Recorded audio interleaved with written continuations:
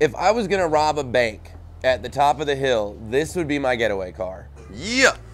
Howdy, everybody. Hope all hope all y'all are having a great day. My name is Jeremy, and I'm today I'm at Stevens Pass, beautiful Stevens Pass.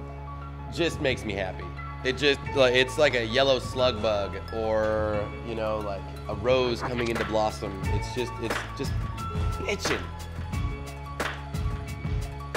Your old buddy Jeremy, uh, riding here at the Pentagon. No, you can totally put the Pentagon in the background. It's awesome. Technology by by by. Wow. It was a bit of an albatross. Talking about the Bob Marley, it's freaking fantastic. Taking it on the waves of snow, delicious, just delicious. What's up? What's up? What's up?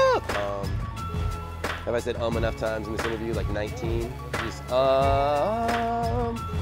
You can do anything with this board. You can make sushi with this board. This board is it just it's awesome. Just this board for me kind of lacked substance. Uh, I just didn't, uh, like you said, man, like a like a girl you kind of go out on a couple of dates with, but don't introduce her to your family or friends. You know, you got to put the Pentagon on the back. I, I thought about that on the chair. I was like, dude, for a stunt, I would love it if it snowed in DC. And I totally like broke onto the Washington, like the White House stairs and saw me like jib, like jibbing a rail down the White House front steps. But anyway, okay, back to the interview.